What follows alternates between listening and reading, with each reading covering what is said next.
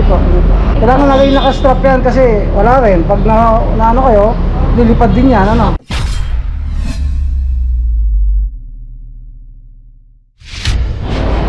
Ay, Nay!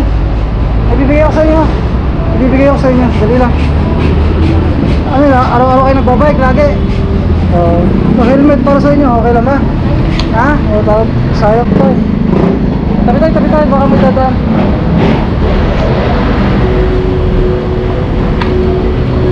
Araw-araw yan, yan ang gamit nyo. Ano? Oh, pwede naman. Tingnan natin kung, ay, maluwag. Adjust ko lang ha. Saan ang punta nyo ngayon? Bibili ko ng patuka. Ay, pat- patuka. Galing ko ng trabaho. Oo, oh, yun, tama tama. Para sa dito talaga to, mga gan mga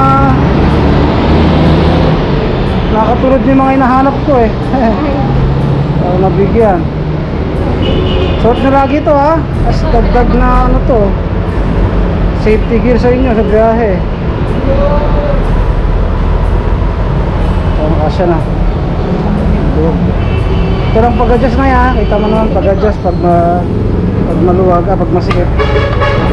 Ito pag masikip. Ayan, medyo okay na. Adjust na lang ng ano ha.